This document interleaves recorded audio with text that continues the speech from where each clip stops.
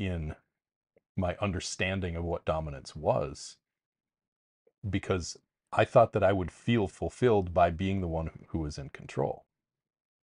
But I wasn't. Because what I was actually after, what I actually really needed, wasn't to be in control. It was the feeling of being followed. It was the feeling of like what I got back from you out of taking charge. So, can you elaborate more on your own, I guess, realization of that difference?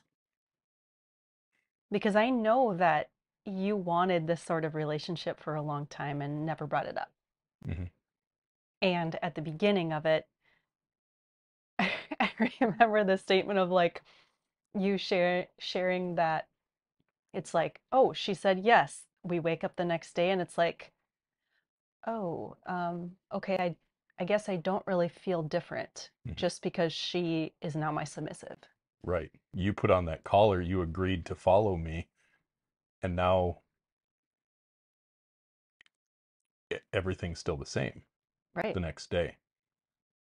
So it took me a while to start to sort out that the problem wasn't you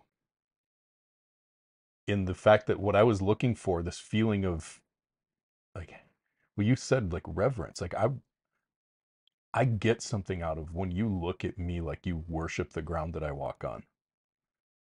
And when I can tell that you feel that way about me, like that does something to me. And that's what I was after. Like that's what I really wanted. And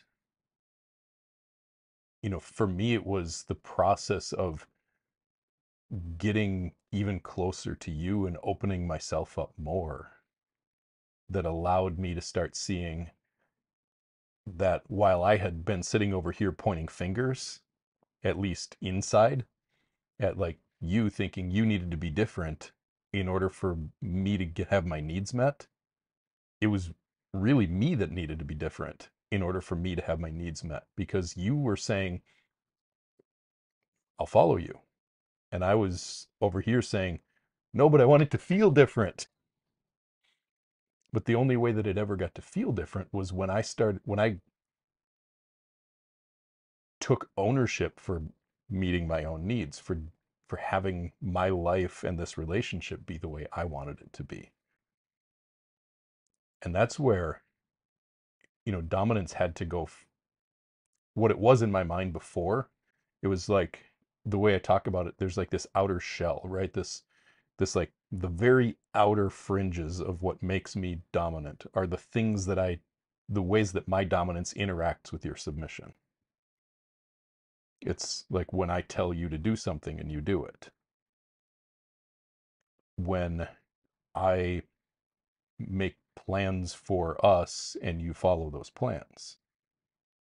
You know, that's that's the very outer shell. It's like where your submission is is the outside edge of it and my dominance the outside edge of it is where they touch. But this work of making it feel so real, so deep, so powerful for us isn't about getting the surface right, like where we touch. It's about who we've both had to become on the inside. Our character, our our spirit, our energy, our self-love, our belief in ourselves. Like and that's really what is hard for men to look at because we think it's about what we do, but it's really about who we are. And then we look at, well, how do I change that? Like, how do I improve that? It's way easier to say, like, I'm going to do this, these things. And every single guy who starts out in dominance and submission, I think, starts out trying to figure out the right contract. What are the rules? What are the rituals? What are the like the things I'm going to make her do? But anyone who gets any deeper than that has to start looking inward like I did.